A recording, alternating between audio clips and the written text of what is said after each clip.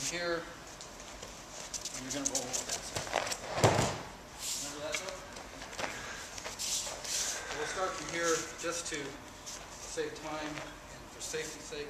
Normally this would be our kokyunage, but this throw